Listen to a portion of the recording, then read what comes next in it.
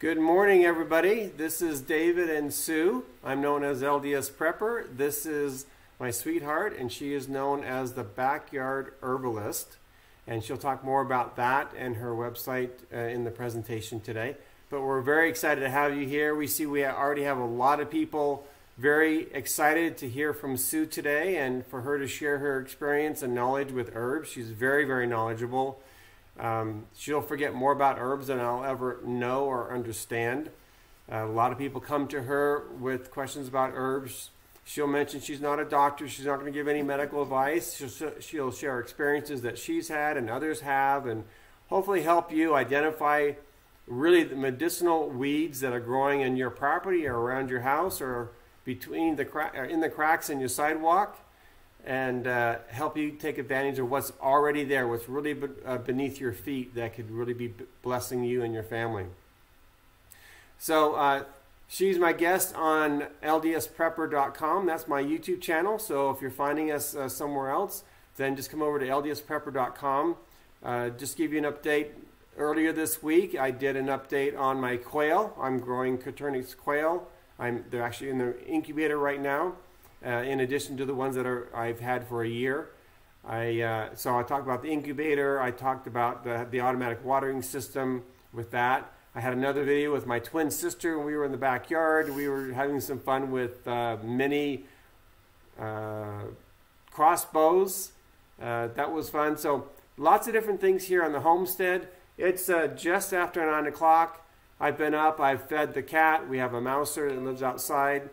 Uh, I've uh, fed the quail. I went and got some uh, broccoli leaves. I, uh, I brought, harvested the broccoli from the geothermal greenhouse this, um, this week to get some broccoli leaves from the plants. Gave those to the quail. Brought in the firewood from under the solar panels, stacked that up, split the wood for the tinder and the kindling. Sue's been out feeding the chickens this morning, so it's a normal Saturday morning here on the Gilmore homestead here in southeast Idaho. So uh, I, I, did want to bring you up to date. Last week we talked about the Fortress home security system. Uh, you can get the best price available at ldsprepper.com slash fortress. I did talk to them again this week. They don't have a special discount code or anything for me yet, uh, so, but because they said it would cost too much to, to put that together. So go use that use that link, but uh, when you when you go there, uh, also uh, they have the base system available there. But I also recommend that you make sure that you get this uh, uh, additional item, which is a an external siren, and this is very very loud. You want to make as much noise and as much light uh, as possible when someone breaks into your home or you have an intruder. This is the system that I have that we discussed. You'll see more detail on that from my last week's broadcast. That's the uh, S03 or S03 security system from Fortress. So uh, if you're interested in getting that uh, or learning more about that, look at that video from last week's uh, live broadcast. Anyway, I see lots of comments here. Good morning, everybody. We just can't take time to say hello to everybody, but just let uh, just let you know we're very excited to have you here, and we know why you're here. That's to listen to Sue, not to me. So let me turn the time over to Sue. I'll be over here on the side monitoring, and hopefully we'll have uh, she can get through this presentation uh, effectively, and we can get to some of your questions. So if you have any questions, please write those down here in the in the chat.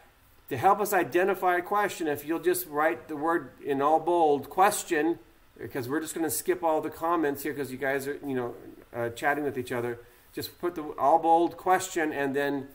Um, uh, write down your question or you all bold Sue, and then we will be able to identify that quickly. So, with no further ado, here is uh, my wife, a certified master herbalist, certified family herbalist, certified nutritional nutritional herbalist.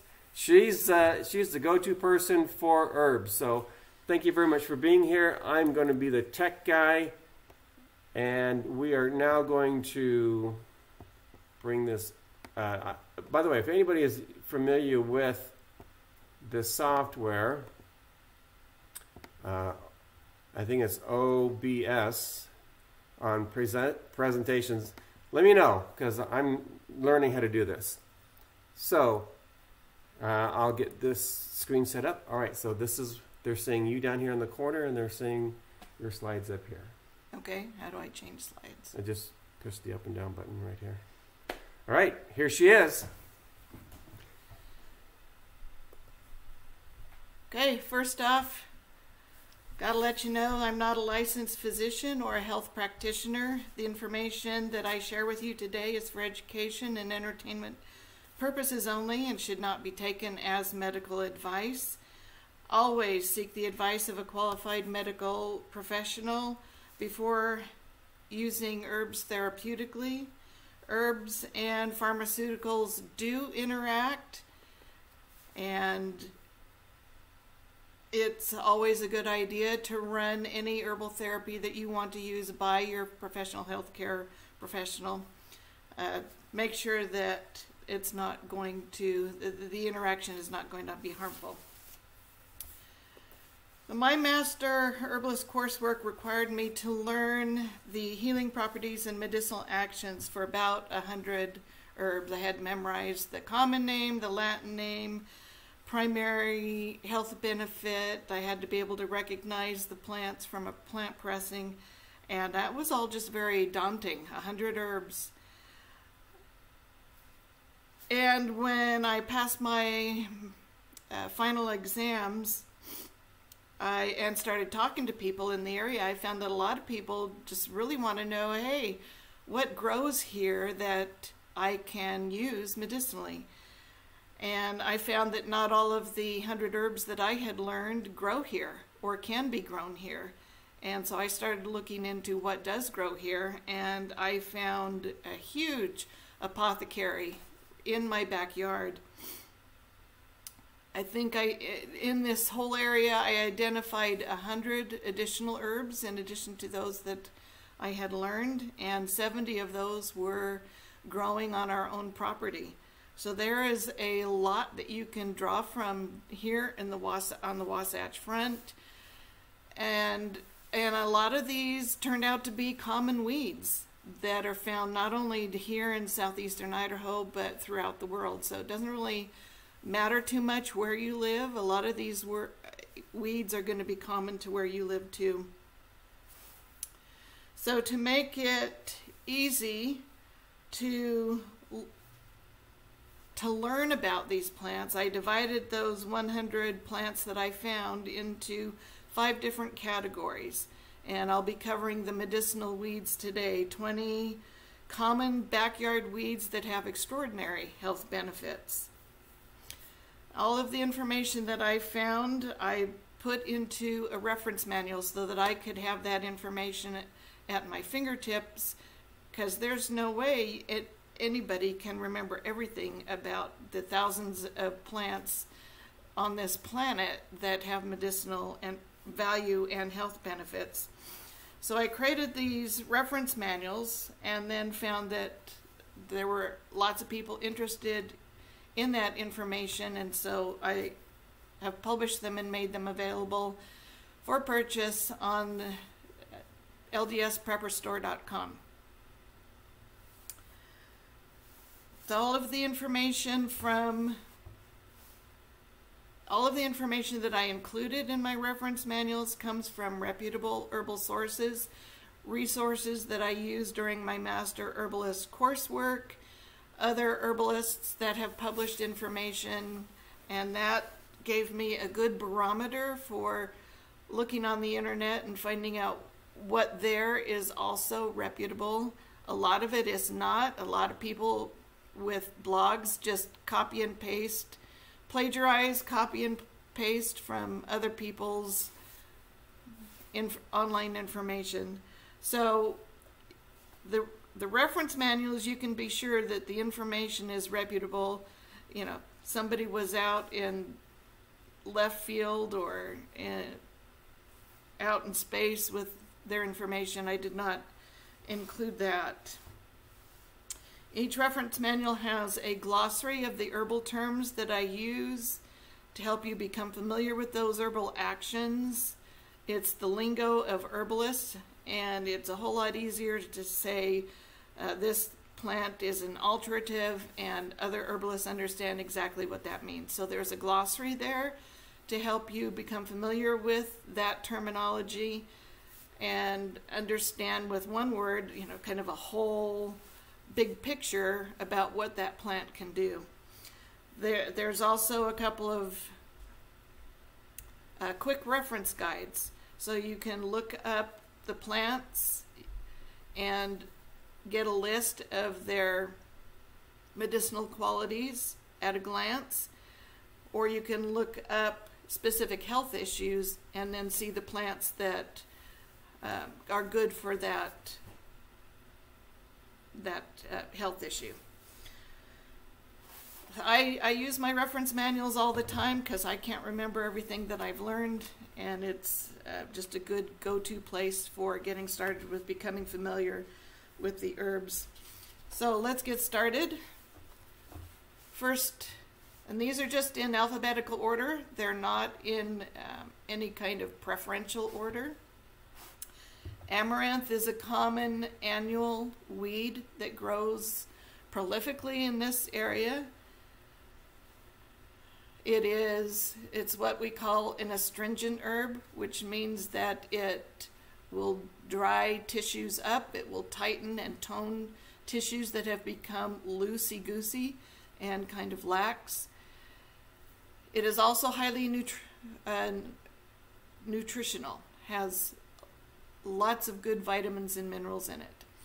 And those vitamins and minerals have health benefits. Astringent herbs, uh, for an example of what you would use those for, uh, diarrhea, very watery. Um, astringent herbs help stop diarrhea. And astringent herbs are really good for like uh, heavy menstrual bleeding. Uh, fluids that are leaking from the body, a profuse amount of fluids, astringent herbs tighten things up, and get things back to normal. Second on the list is burdock.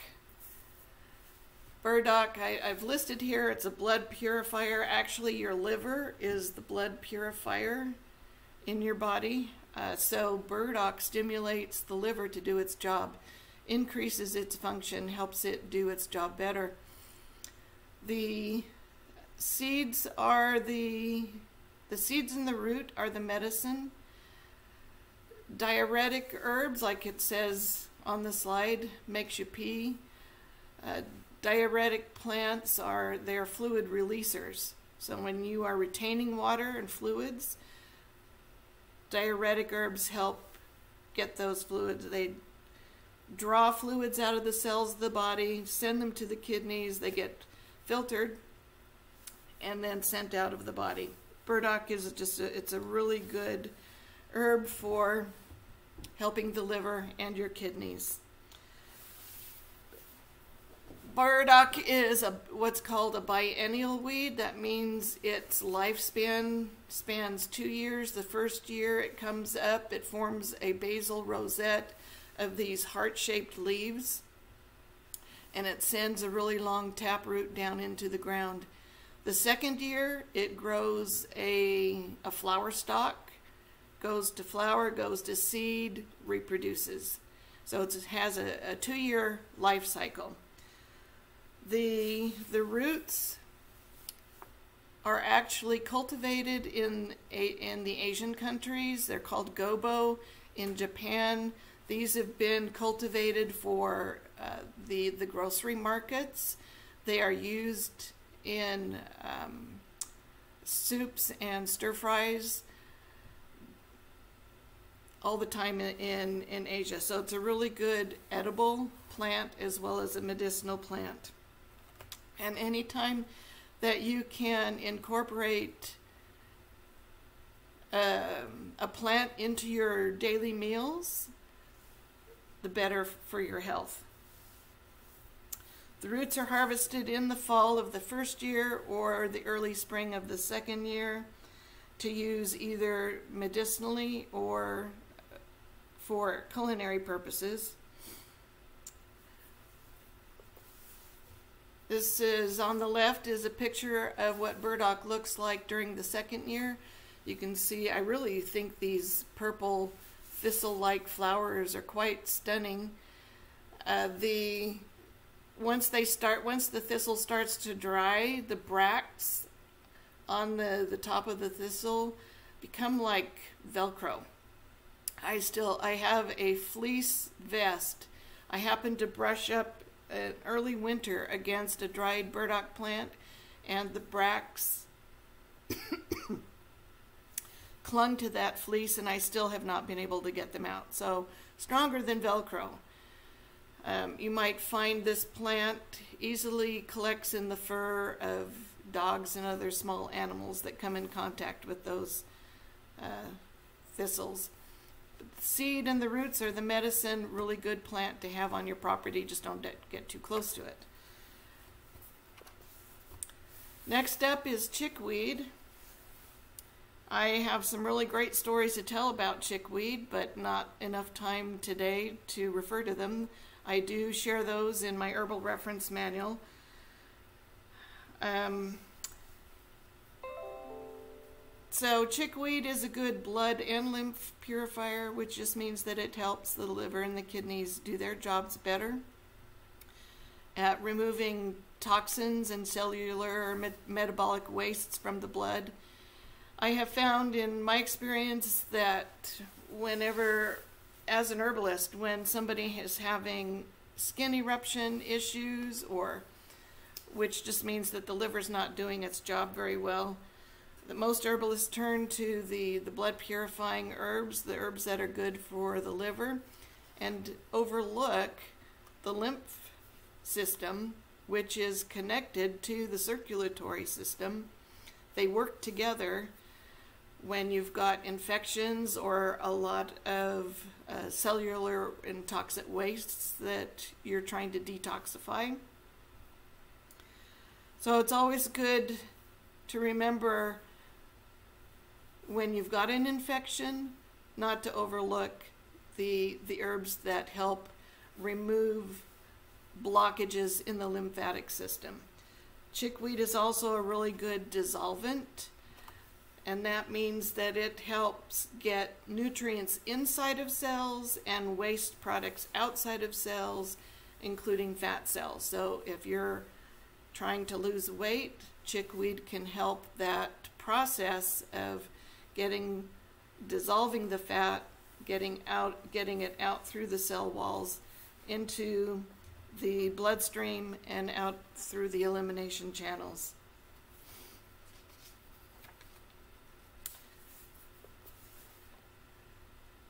in my herbal reference manuals, um,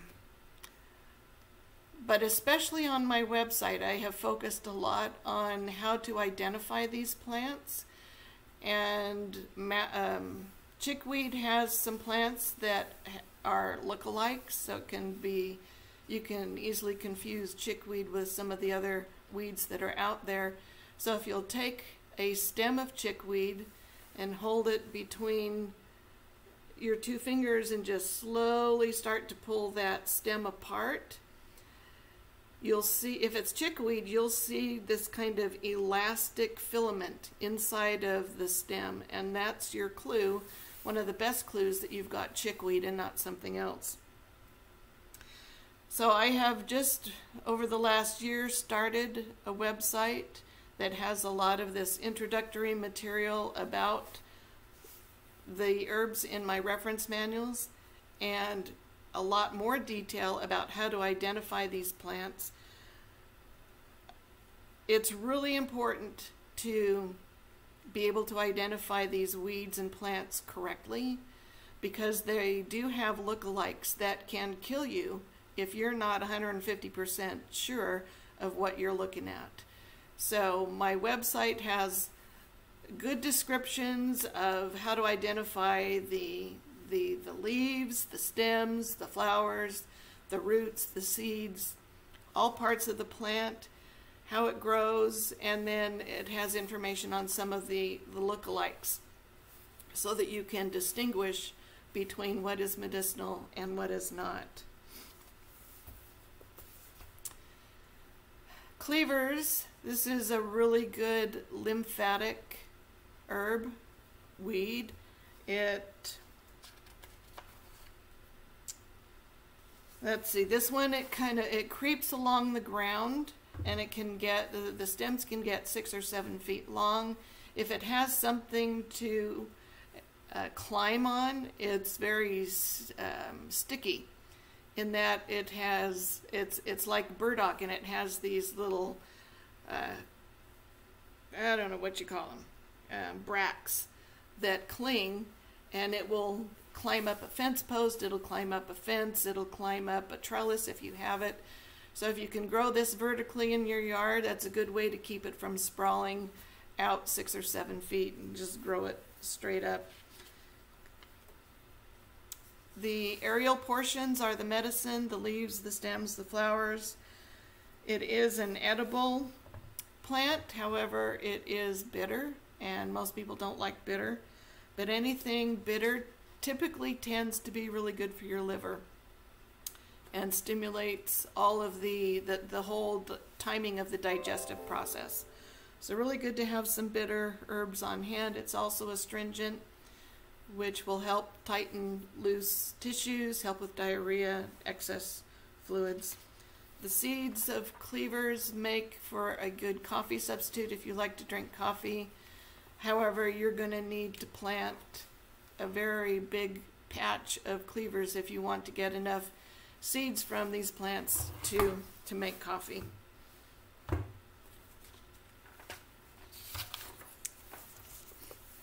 Next up is crane's bill. And the next the next one is stork's bill. These plants do not look alike, but their names are so kind of similar. And so I had a hard time in the beginning you know, looking at this plant, okay, was this crane's bill or was it stork's bill? Because the names are so similar. So I have since started calling cranesbill wild geranium because it is a wild geranium and that has helped me kind of distinguish between cranesbill and storksbill. Cranesbill is really, really high in tannins. Tannin is a plant compound that is used to tan leather animal hides. It's a very strong astringent. It is also really good at stopping bleeding. The, the roots, parts used, the underground rhizome. A rhizome is an underground root that kind of creeps along and starts a new plant. It creeps along and it starts a new plant. So the rhizome is the medicine. The leaves are also medicinal. It is astringent because it's very high in tannins, and that property is what gives it its ability to stop bleeding. Stork's bill, if you look at the plant from, you know, bird's eye view looking down on the plant, the leaves are the big telltale difference. Uh, the, the wild geranium leaves look like geranium plants. The, the stork's bill leaves are more feathery. They're actually um, edible, uh, kind of taste like parsley. So you can put them in salads, you can use them as a pot herb, you can put them in smoothies. Um, the, the flowers are very different. Storksbill flower is very small, has five pinkish, purplish flower petals, and if you look real close, three of those petals will be a little bit bigger than the other two.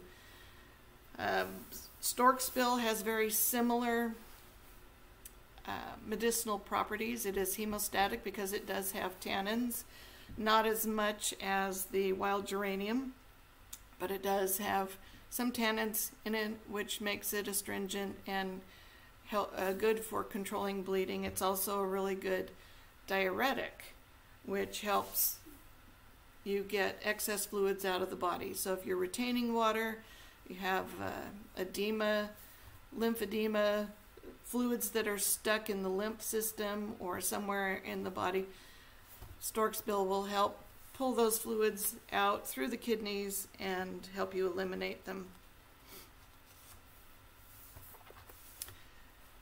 Don't know if I need to describe dandelions, I think we all have a good idea of what dandelions are, but they're very medicinal. The roots are specific for the liver, the leaves are specific for the kidneys. So the roots um, will help detoxify the bloodstream of cellular and metabolic wastes as well as the environmental toxins that bombard us. The, the leaves are a good diuretic, so they help the, the kidneys get rid of excess fluids from the body. The blossoms, if you've ever gotten an upset stomach, like after a big Thanksgiving dinner or a Christmas dinner or some big family gathering, family reunion, uh, you, you get an upset stomach when you don't have enough digestive enzymes to digest what you've eaten.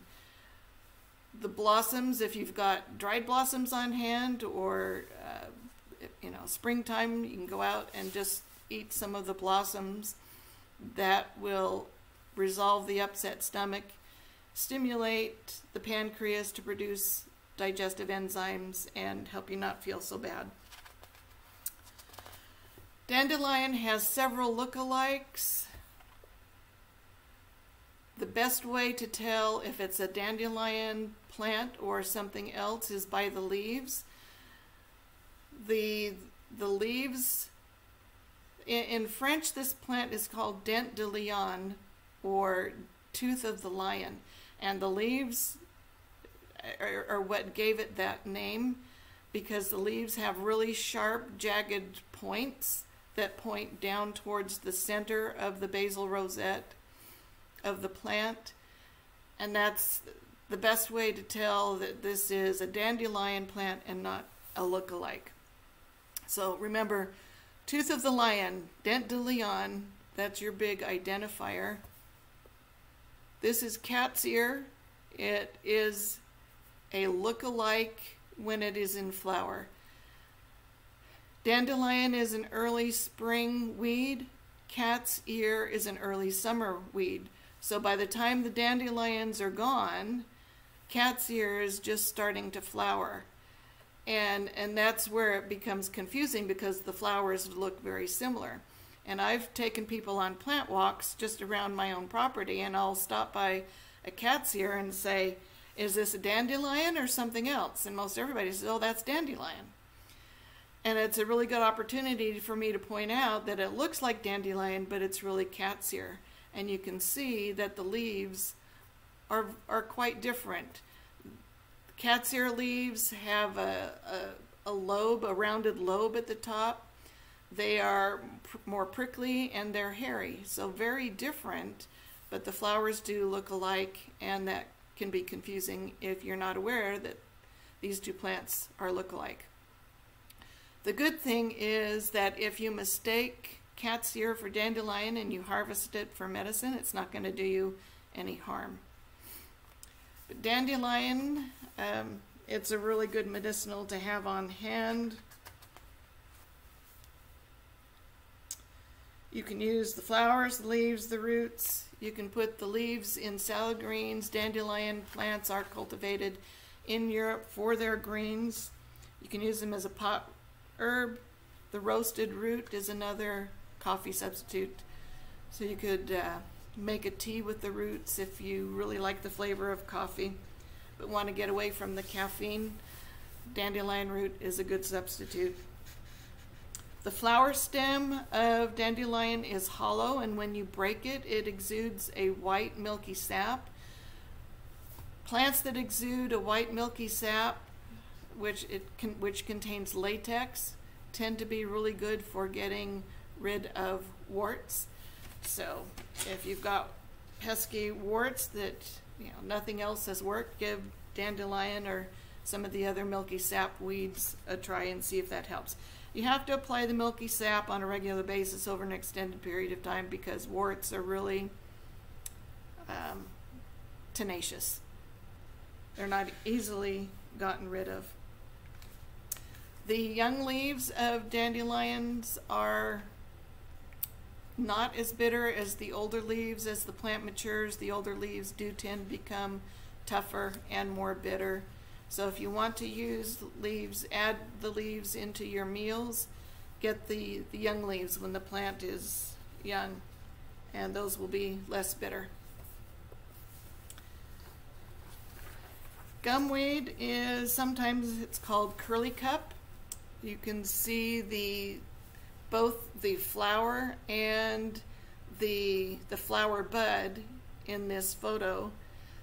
The bud is actually it's full of a very sticky resinous gum, and that's what gives the plant the the name gumweed. The the gum is actually that resin is actually the medicine. This plant can grow either as a biennial over a two-year period of time, or it can be a perennial, um, which just it comes up every year. And it is very drought tolerant, so it doesn't need a lot of water in order to flourish. I actually transplanted some gumweed into one of my herb boxes, and it was getting watered every day, and it just died. So it likes to be dry.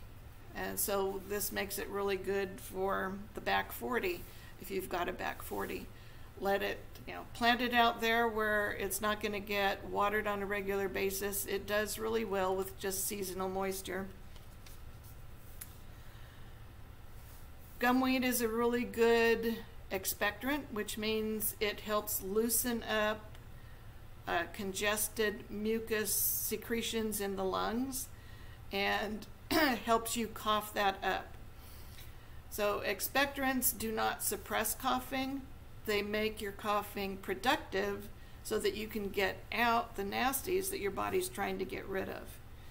Big difference.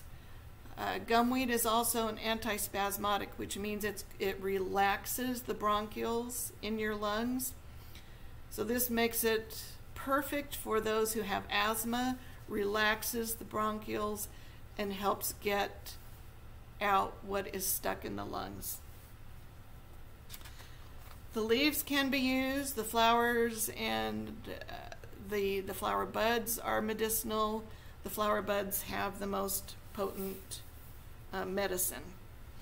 You can, it's a very bitter plant, you can use bitter, bitter plants are really good for stimulating the digestive process, the whole timing of the release of secretions in the digestive process stimulates peristalsis, which is the movement of the muscles that move your food along and out through the bowel. That's really, bitters are really good for that whole process. Gumweed is very, very bitter. Uh, so if you don't mind that extreme bitterness, it's a it's a good bitter. There are other herbs that are will do the same thing that are not quite as strong. Lamb's quarters is very it's a cousin of amaranth. So the, when the plants are young, especially when they're just little seedlings, very hard to tell which is which. Lamb's quarters is really high in nutrients, so so is amaranth, but the the lamb's quarter leaves, when you look at them, especially when they're young, it looks like they're covered in a white dust, and that reflects its high mineral content. And um, amaranth, which is sometimes called pigweed, um, well, the pigweed you can see kind of a pinkish tint at the base of the stem uh, where the, the root starts to become pink. Lamb's quarter does not have that pink cash. So that's how you tell the difference between these two plants. But both are really good uh, nutritive weeds. I have, I actually weeded this plant out of my garden before I learned that it is so good medicinally as well as nutritively. It is a gentle detoxifier. So if uh, you just like to help the detoxification process in your body on a regular basis, because this has a gentle, mild action, uh, you, you, it, it is edible. It's a good spinach substitute. Actually, when spinach is dying off because of the heat, lamb's quarter is just coming on. So when the spinach is out of the garden, you can harvest the lamb's quarter leaves and use them as salad greens or uh, smoothies. Uh, you can put it in soups, uh, use it as a pot herb, use it as a stir fry. Any way that you would use spinach, you can use lamb's quarters in the same way, the leaves in the same way. Lamb's quarters is astringent. That means it's going to help tighten and tone loose tissues. It helps with diarrhea, bleeding, that sort of thing.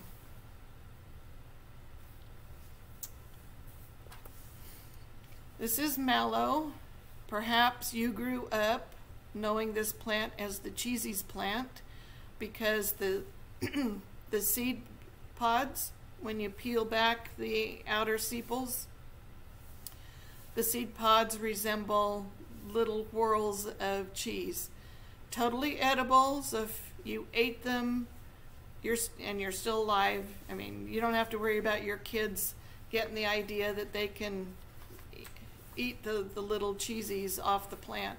It's not going to harm them. Actually, it's a really good medicinal. The, the most potent medicine for mallow is in its root. If you've ever tried to get rid of this plant from your garden, it is a it is a bear to get rid of because it has a very long taproot. The plant can the young plant can be uh, rather small looking on top and have a really long uh, taproot. It is hard to get out. The trick, um, a few years ago I did an herbal presentation locally and this was in early fall. So I had a, a plant that was maybe 24 inches in diameter and the trick to getting the root out is to take a gallon of water and slowly pour it at the crown at the crown of the, the plant where the root meets the leaves and just very slowly pour that water.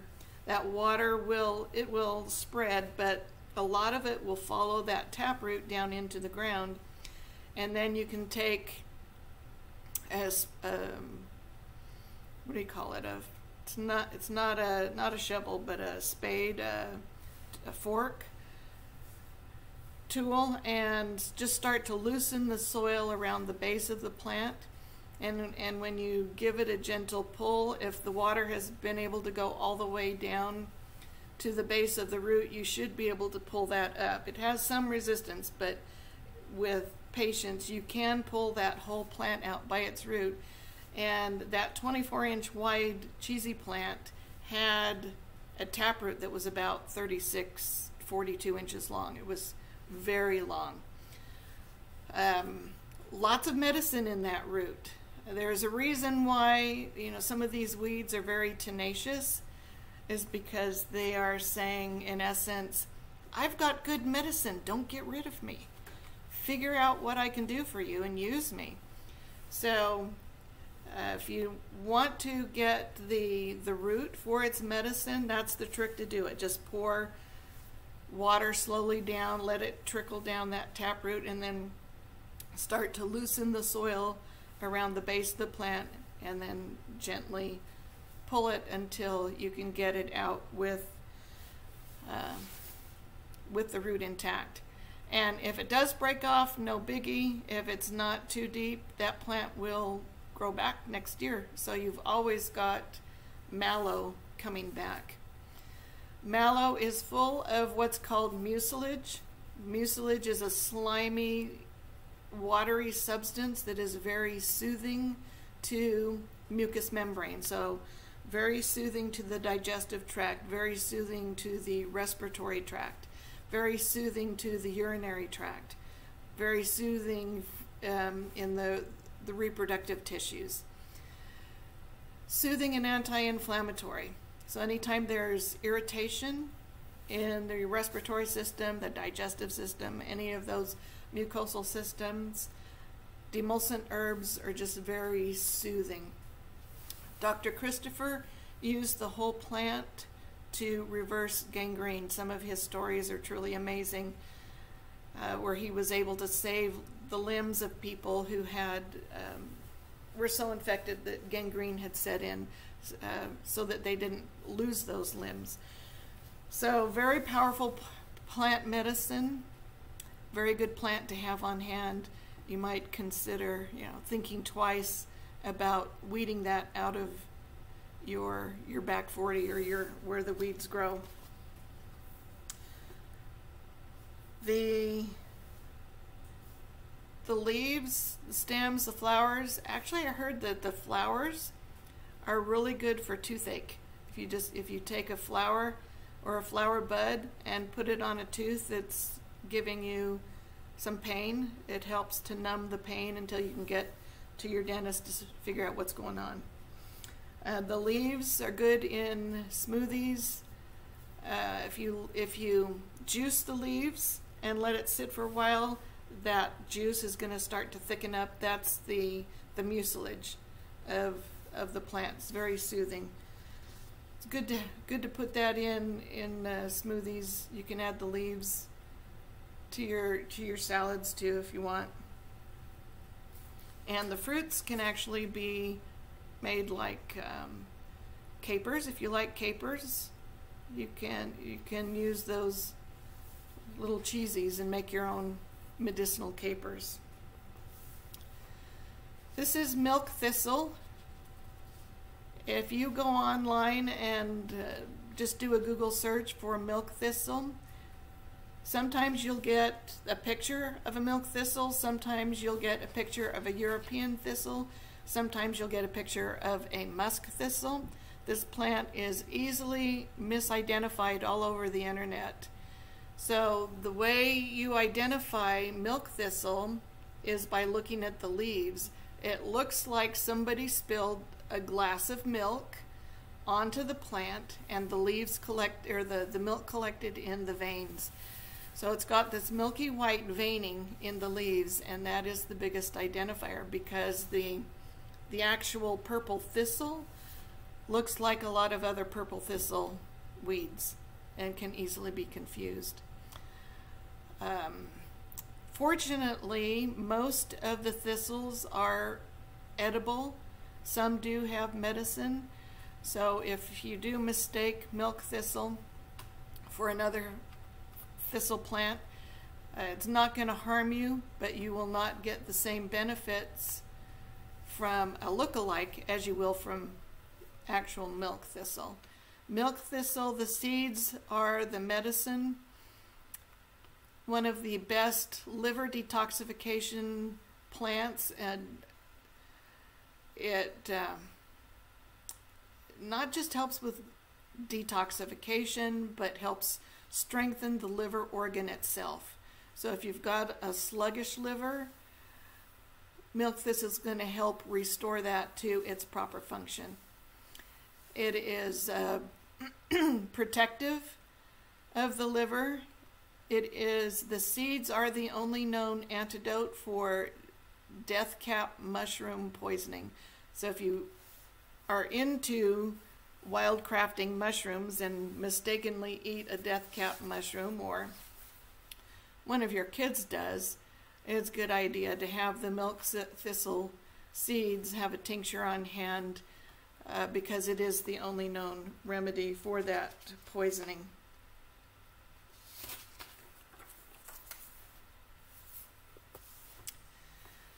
Mullein. Mullein is all over the, well, I've noticed that as I've come to learn about these weeds, now I see them everywhere, and that's kind of fun. Whereas before, I just didn't really notice them as like, now I see mullein everywhere. Likes to grow near irrigation ditches. We have lots of irrigation ditches here in southeastern Idaho along the Snake River. So this plant is easy to identify because of its tall flower stalk and it has these little tiny yellow flowers that open up uh, sequentially along the flower stalk. The, the flowers are med, uh, medicinal. The, the leaves and the roots are also medicinal. The flowers made into an oil infusion are really good for earaches.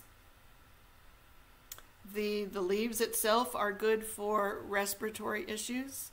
Uh, my daughter called me once and said her friend um, had this had this dry, hacking cough, and if and my daughter said, "Jean, you know, so what will help?" And I said, "Well, come over to the house and take some mullein leaves home with you."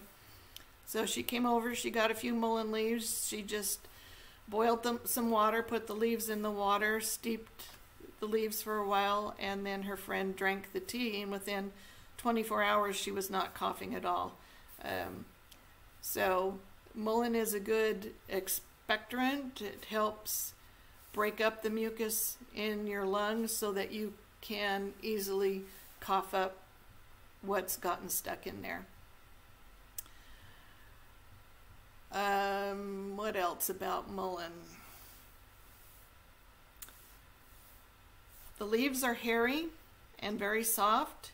So when it grows in the wild, if you're a hiker, have to uh, uh, use use the bathroom and there's no bathroom around, mullein leaves make really good soft toilet paper.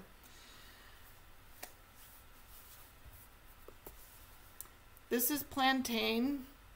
There are several varieties. There is a broadleaf plantain, which is this picture.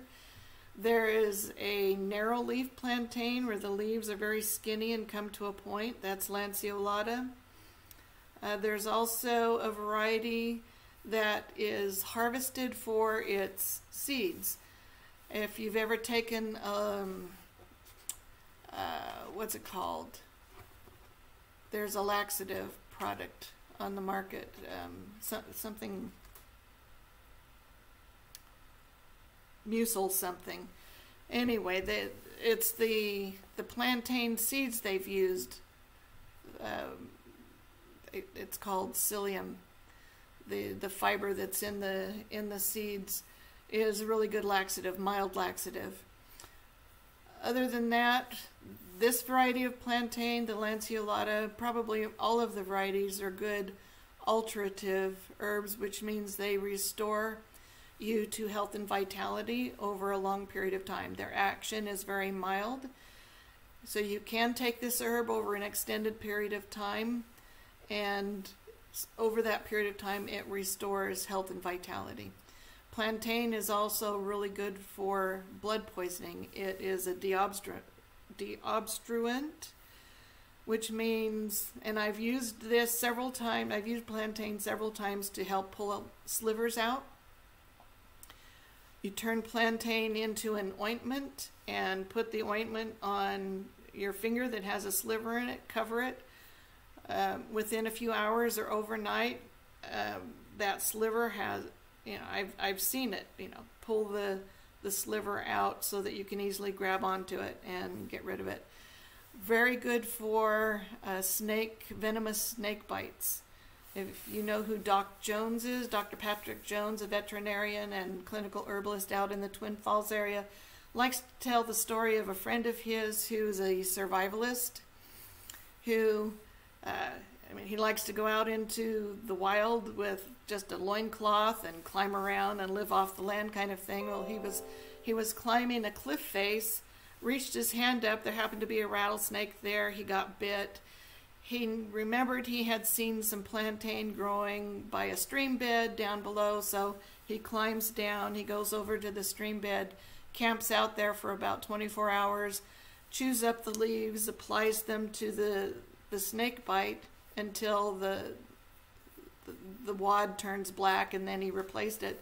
He just continued to do that and chewed on the, the plantain leaves and sucked the juice out of those leaves, and in 24 hours he was good to go, and he was back to doing his wild man thing. So really good for um, poisonous, venomous snake or spiders like the hobo spider. Um, really good for lots of different things. You'll have to you'll have to take a look at my reference manual to see all that it's good for.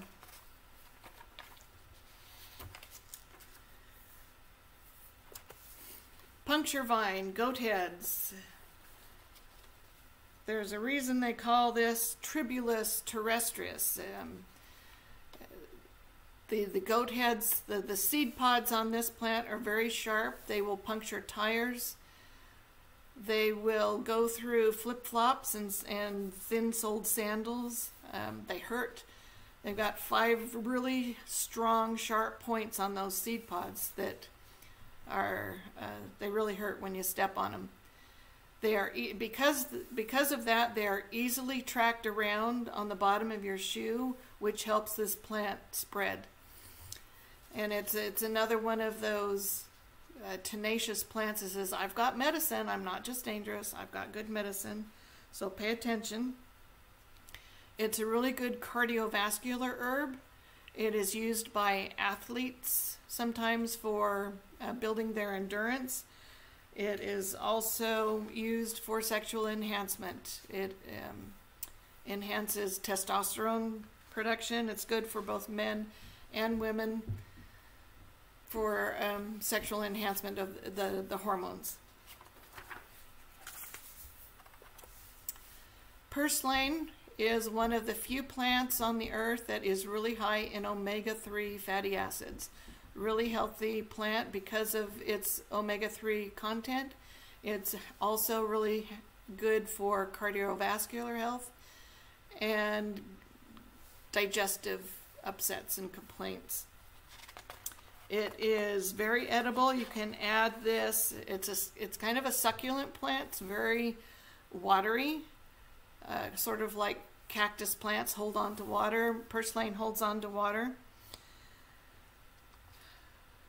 You can put it in salads, and smoothies, throw it into soups and stews. Really good edible plant. Has kind of a sour taste to it. It's not bad, but it's a little on the sour side. Next up, we had we have red clover. This is another plant that is good for your liver. It helps the, the liver purify the blood, helps fight cancer. It is kind of a, it's more on the sweet tasting side, so it's makes a really delicious tea. The leaves, there are lots of different kinds of clover, alfalfa, there and red clover are in the same family, so before they bloom, it is hard to identify, you know, is this clover, is this alfalfa? If you look at the leaves real close, you'll see a white chevron, kind of a pointy almost arrowhead-like shape on the white spot on the red clover leaves, and that's how you tell the difference between alfalfa and red clover leaves. The, the blossoms actually have the medicine in this plant, easy to harvest, uh, beautiful when they dry and sit in a, in a jar on the shelf. Uh, really good plant to have on hand. Fast growing, comes back every year. It's also edible. Shepherd's purse. This is a really hardy annual weed. Um, it springs up in the early spring and it will also come back in uh, late summer, early fall. Shepherd's purse is a really good um, herb. Lots of midwives keep it on hand for um, for, for childbirth. It'll stop, it'll help stop bleeding after childbirth. It's also really good for acute urinary infections. Uh, just a really good medicinal to have on hand. The whole plant is the medicine. The the seed pods you can't really see in this picture, but on my website I show a close up. The seed pods have kind of a heart shape, really kind of cute. Um, I remember when we first moved here and I was looking at the, the plants that grow here, I found a, a lone shepherd's purse out in the, the driveway area of the house. And I hadn't seen it before. So I looked real close and I noticed that it had these heart shaped seed pods. And I, I remembered from my master herbal studies that to look for that seed pod. And, and I thought, oh, I wonder if this is shepherd's purse. And so I found some pictures online and did some comparison, and yeah, it was shepherd's purse. So that was pretty exciting to discover that I had shepherd's purse on the property, and now it's it's everywhere. The the seed pods mature sequentially, so as as the, the plant flowers, and it starts putting out flowers real early in the spring when the stems are only uh, like two inches high. And, and the, the stem will continue to grow and produce uh, these little blossoms on the sides of the stems that turn into these heart-shaped seed pods. And, um, and as those seeds mature, the seeds are shed, and this will spread everywhere which is it's a good thing because it's a really good medicinal plant, really good for stopping bleeding. Showy milkweed. This is one of the, the plants that has a white milky sap in it. So if if you want to collect that, that milky sap and make a tincture out of it to, har- to, to take advantage of that uh, me- medicine, um, it was herbalist Michael Moore from uh, the New Mexico area, clinical herbalist. He's written a couple of really good books on uh, identifying the the medicinal plants that grow in different parts of the United States. Um, he said, if you want to harvest the milky sap, find a big stand of these plants, get a chair with a, a sun umbrella and uh, big bottle of water and a good book to read and you you cut off the top of the stem of the the plants and and let the the milky sap come out and when it hardens you pluck it off and and collect it in a bowl and then you cut those stems about an inch down and let the milky sap come out and let it harden and then collect those the the hard bumps of the milky sap and, and you do this one inch at a time down this plant, and these plants will grow three to four feet tall. So it's kind of an all day thing, but that's how you harvest the milky sap from these plants. It's a really good uh, respiratory for, for lung conditions, a really good tonic herb for respiratory lung conditions. Helps with digestion, and because it has the milky white milky sap, it's, it's a, an age old remedy for getting rid of warts. Um, showy milkweed is also a really good plant. The flowers attract butterflies and other pollinator insects to your garden, so it's a really good one to have on hand. Wild lettuce, wild uh, prickly lettuce, wild prickly lettuce. I've been told this plant has several names, uh, but it's a weed that grows everywhere where we live. Um, it is a mild analgesic and sedative, and is also good for uh, dropsy or what, you know, an old-fashioned name for water retention. The way you identify this plant is you look on the underside of the leaf. It has a very pronounced midrib. And if you look at this picture on your screen really closely, you can see the midrib has these tiny prickles. They're, they're stiff they're sharp-ish. They're they're not going to make you bleed. I don't think if you uh, you know if if you touch them, but they're prickly, and that's how you identify this plant. Uh, the the the lobes of the leaves are very jagged and irregular in shape. It grow this plant can grow six to seven feet tall. Really hard to get out of your garden if you let it get that far. If you if you want to weed it out. Uh, grow, it uh, gets small yellow daisy-like flowers at the very top. And that will, uh, I think one of the, the look-alikes is the, some of the thistle plants, very similar. These plants are the ancestors of our garden lettuce. They are, um, wild prickly lettuce is bitter, so it's a good digestive. It does produce uh, white milky sap as well. The, the leaves are edible. Um, they can eat, be eaten raw or cooked if, you know, kind of a survival food. If you had nothing else, you could survive on it, but not really that good to eat. Quick story. I know we're we're pretty much out of time, but I've only got a couple more herbs to um, to share with you. Um, I was I was at a preparedness fair, had a had a booth, had a young teenage boy come up to me and and start questioning me about herbs. Said, "Do you know what wild lettuce is?" And I said, "Yeah, it's a really good herb." And he said that his dad used it. Uh, this little this young boy had had surgery on his toe, and he was in a lot of pain, and so his dad went out and made a tea with the the wild lettuce, and he drank the tea, and the pain subsided. So a really good analgesic for uh, pain relief. That was a fun story. Fun story that he shared with me. Wild sheep sorrel. There's a French Canadian nurse. I think she has since passed away, but she developed a an herbal remedy that helped cancer patients get rid of cancer.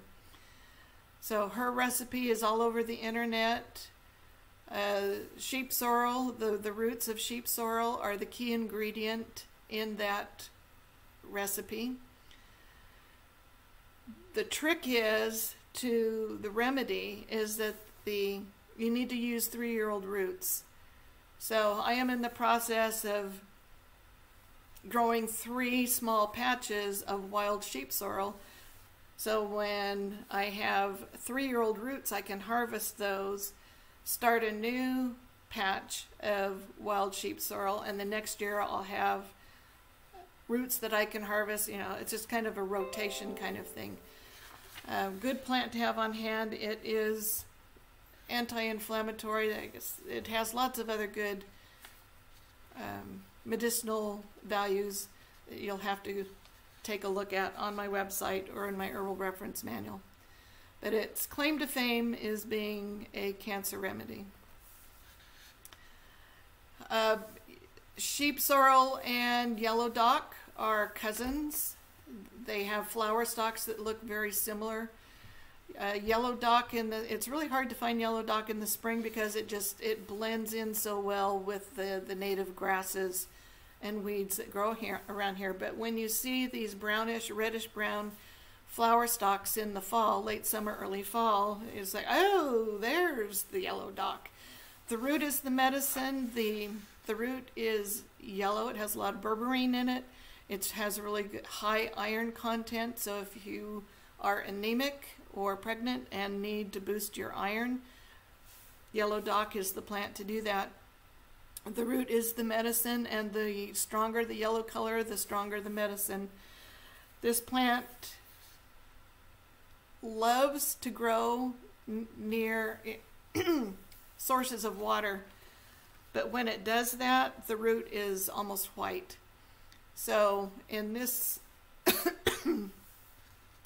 for the medicine in this plant to be potent, you need to find the plant that's kind of up on the hill where the water, you know, when it does get water, that water drains away. And that stresses the plant a little bit, which makes the medicine. So there you have it, 20 common weeds but those 20 common weeds have over 100 health benefits that I've cited in my herbal reference manual. Uh, there is more detailed information than I've given this morning on my website, which you can see here, thebackyardherbalistschool.com. And my reference manuals have the greatest detail. And those are available at ldsprepperstore.com. Questions? Do we have questions? Yes. We have questions. Well, David's coming back in. This is a picture of my herb garden.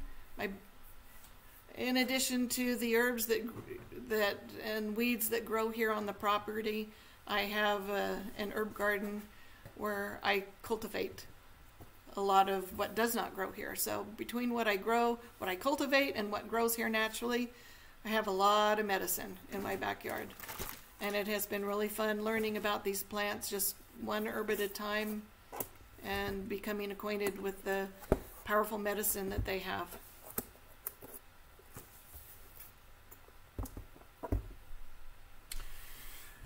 Okay, thank you very much, everybody, for your comments and your questions. Uh, very helpful. Uh, let me just go full screen here so that uh, they can see us a little bit better. And I'm just going Go to the next slide. There we go. Okay, so first question was uh, in her reference books, does she go further into which part of the plants to use and how to prepare and use them? Yes, really good question. I do indicate what uh, what parts are used medicinally.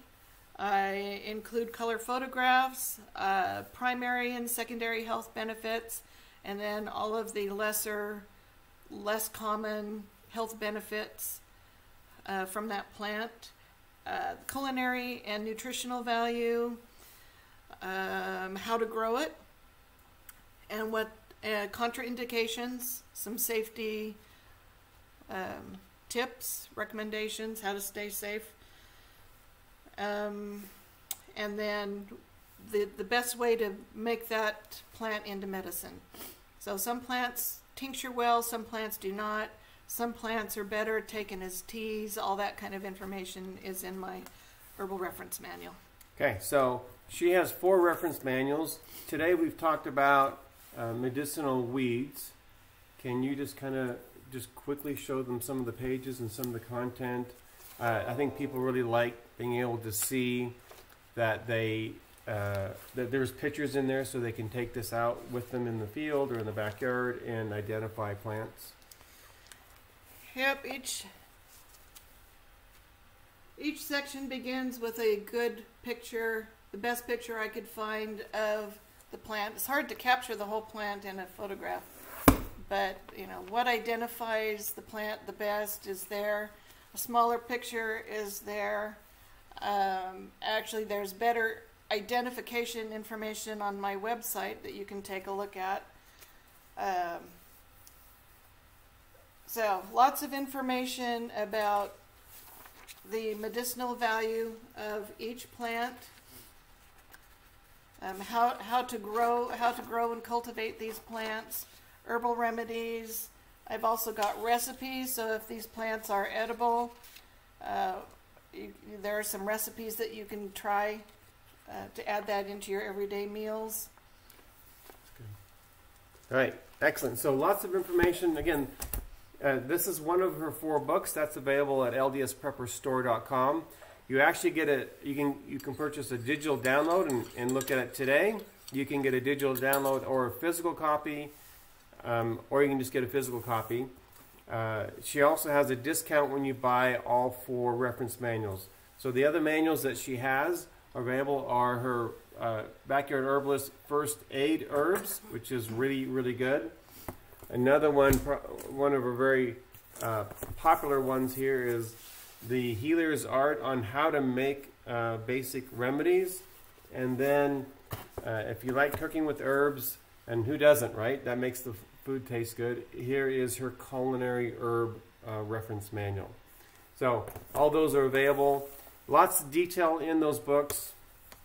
And it looks like we really have a lot of people here today who are, are very interested in uh, herbal uh, applications, remedies, how to use them, and so forth. So, thanks everybody for joining.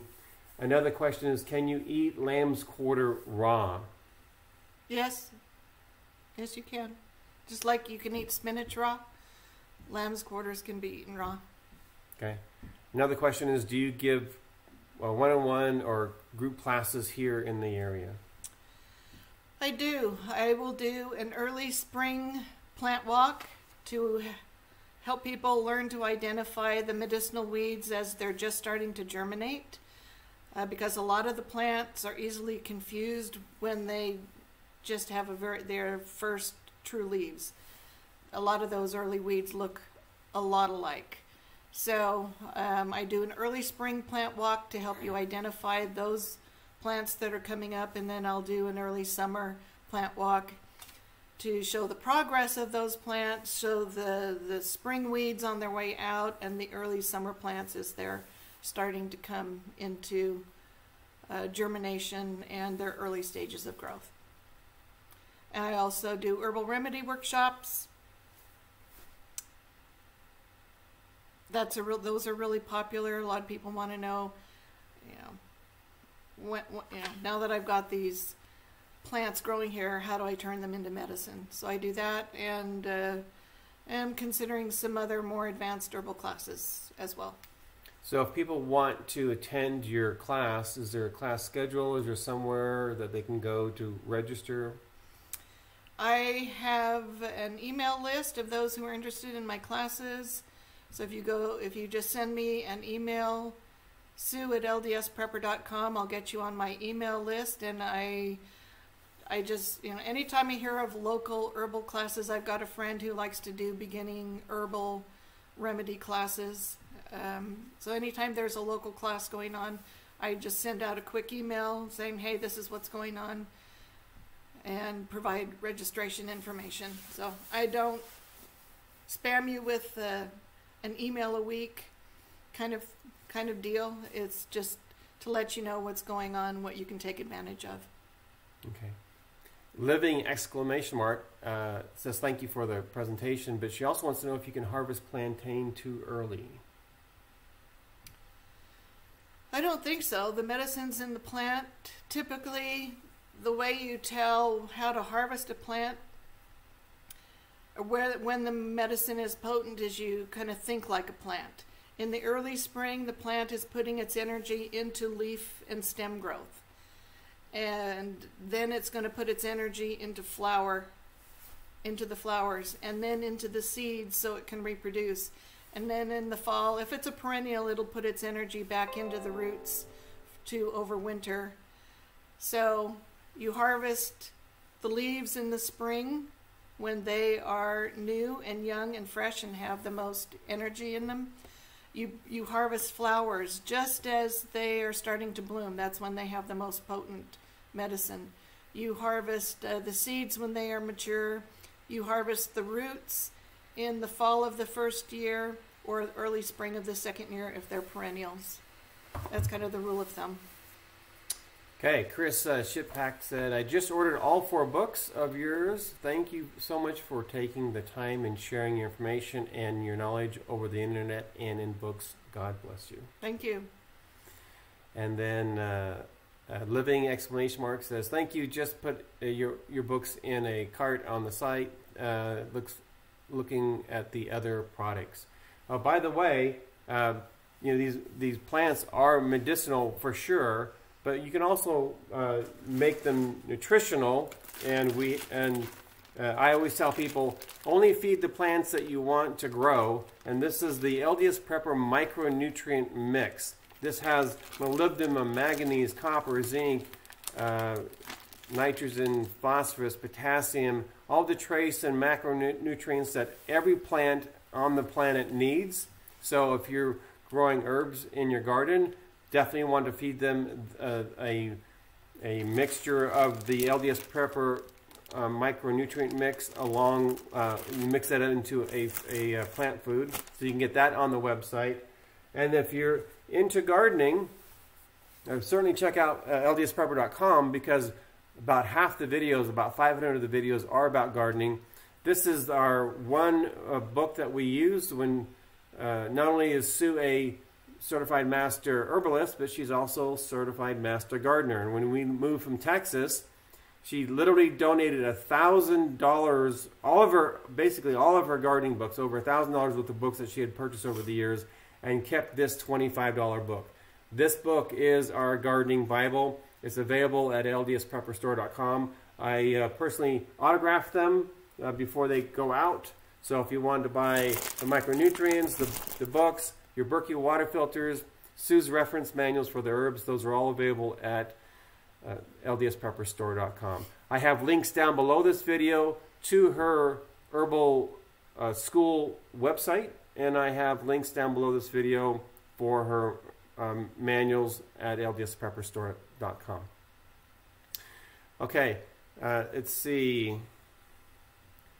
Um, Doctor, first of all, I need to say, Doc Michael, thank you very much for all the invitations you sent out. So many people here today are here because of your presentation, uh, because of your post. So thank you so much.